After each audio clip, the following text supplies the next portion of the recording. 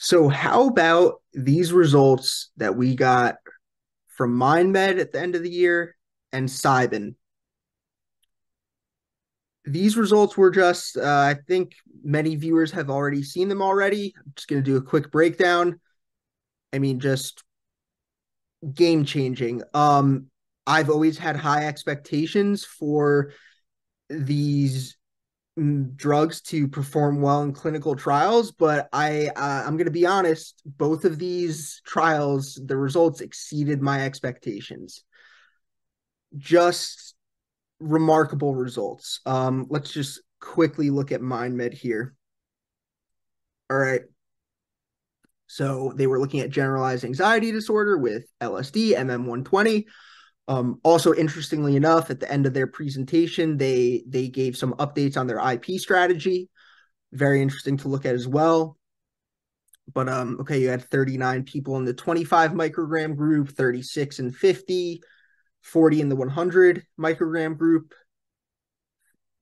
40 in the 200 microgram group, and 39 in the placebo. And again, I'm just going to quickly go over the results. There's a there's a lot to it, but I'm going to cover the main parts. So in both the 100 and 200 microgram group of um of MM120, 78% of people were responders to the treatment, meaning they saw a 50% or more um, improvement in their anxiety symptoms uh, on the Ham A. Uh, this was again four weeks after a single dose, and MindMed makes it very clear that in this trial there was no preparation. Pre-treatment activities consisted of only standard informed consent process. So basically, telling them like maybe what to expect, uh, telling them the risks, uh, stuff like that.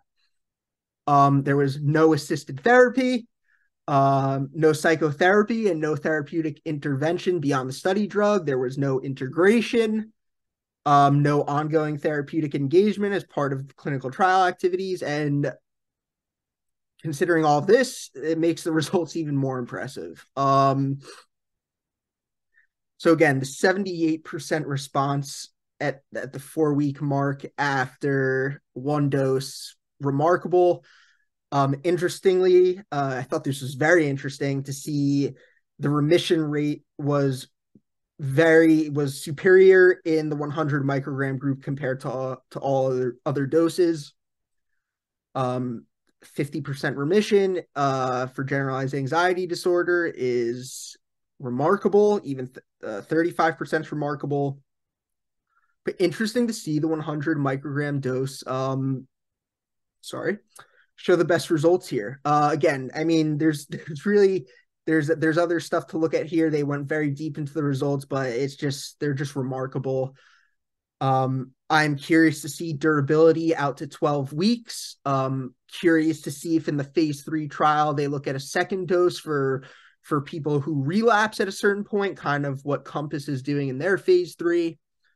Um, but again, these results were spectacular, and um, if I'm an if I'm a MindMed investor here, uh, I'm very happy with these results. Uh, they again, I said it a million times, remarkable. Uh, now let's move on to Cybin. Again, remarkable results at the 12 milligram dose and uh, 16 milligram dose. Um, you had um, nine people in cohort four, nine people in cohort five, nine people in cohort six. Uh, by the way, Cybin was looking at uh, major depressive disorder, uh, sort of, not sort of, uh, as an adjunct treatment to SSRIs. I think this is a fantastic idea for Cybin to go as second line treatment, letting people remain on their antidepressants. Uh, I know we all in the psychedelic medicine movement want to see the day where the first treatment option is psychedelics, but in the real world, it may not end up like that for a long time. I like how Cybin let people remain on their antidepressants because coming off of them for a lot of people is extremely difficult. Um, I do not think it's ideal to be going into a psychedelic experience if you're withdrawing from SSRIs uh, or SNRIs. That's my opinion. Um, I think quite quite honestly, it's just common sense. Um, I think a lot of people would agree with me in this field. Um, and keep in mind, uh, the, current standard of care for treatment resistant depression, esketamine, it's only approved for use with antidepressants. So that's something to think about. Now, again, uh, I would like to see the day where this is frontline treatment, first line treatment. Um, but well done on Cybin for this trial. Uh, the results were just ridiculously good uh 14.8 difference in MADRS between placebo and the the 12 milligram group. They saw a similar response with the 16 milligram group. Um this is i mean it's game changing. It really is. Here it is 16 milligram versus placebo uh 12.9 nine difference on the MADRS um you know in previous videos i discussed that what we see with antidepressants from a, a meta-analysis of all these studies is a two point difference so this is seems clear to me that it's showing potential to be far superior to the current standard of care for, I guess, second line treatment, which would be just going to another SSRI, SNRI. Um, now, the cool thing about this trial um, is that they looked at two doses. What has been historically used in academic studies, like at Johns Hopkins, uh, I believe NYU as well. Uh, you see here uh, in the light blue is the results after the 12 milligram group and 16 milligram group uh, got one dose of the drug. Uh, that this was taken, I believe, at week three, yes, day 21, and then at week three they took a second dose, and you could see the improvement here, uh, a 5.8 reduction improvement uh, in the 12 milligram group, and a doing a little mental math here, uh, and a 2.7 reduction improvement with the second dose in the 16 milligram group. Now, this is where I am saying to myself, holy crap, this is. You know, a lot of people in the community are worried that things are getting overhyped, and I actually share the same concern. I think if people have expectations that are unrealistic coming into these trials and then in the real world uh, there's the potential for people to get let down and feel really horrible if the treatment doesn't work for them. They may think like wow like i've tried everything nothing's worked. The one thing that was supposed to work for me didn't work. I have no hope. Um, so as you can see i think high expectations um, there is some downside there but i mean when you see these results um, it's just um just really game changing. Um 75 79% of people in remission after two doses in the 12 milligram group. Uh we're going to focus on that. Um that's 70 again 79% of people no longer meeting the diagnostic criteria for having major depressive disorder. It's it's amazing. I am it's just so exciting to follow what these companies are doing. Uh, looking forward to also durability with this trial at the 12 week mark. I want to see what um, how many people are still in remission.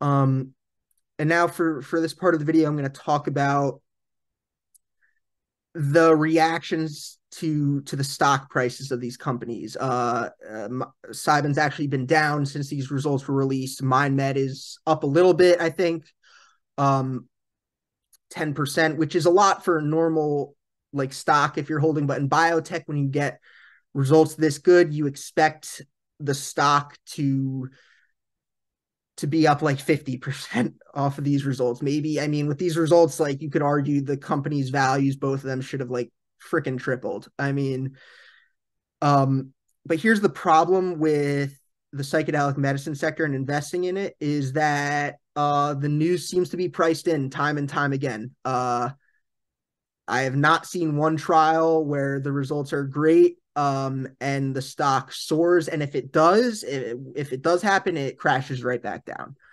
Um, you know, someone on Shroom Stocks actually, I said this, and the person wrote back, welcome to the stock market where everything is priced in. Um, I think that person was mistaken in uh, with with biotech in general. That's that's not really the case. You you do see swings usually. You see incredible swings uh, in the stock price when results are released. Uh, it's probably, I mean, as as I'm sure many of you know, only 10% of drugs uh, will make it to market. So there are a lot of surprises with these other drugs that are less researched now we have all the research of not all of it we have a lot of research already from the 60s 70s at, uh, sorry 60s 50s um, and anecdotal data uh, from people anecdotal reports so people know the results are going to be great um, and it's upsetting to see the stock prices not react uh, you had companies like compass and atai who were up more after these results than the actual companies that released these great results. Um, so it's it's interesting to look at. Um, but again, if you're in this space for the long term, these results should make you very happy, in my opinion, with your decision right now uh, to be invested in these companies. I'm not personally invested in these two companies, um, but um, the data is phenomenal.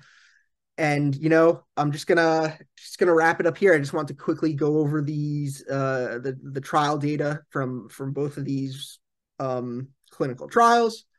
Um, I look forward to both of these companies eventually entering into phase three.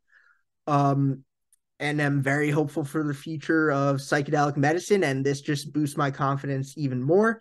If you liked this video, if you enjoyed this video, please like and subscribe. And also follow us at Psyched Insights on X. Thank you very much and have a great day, everyone.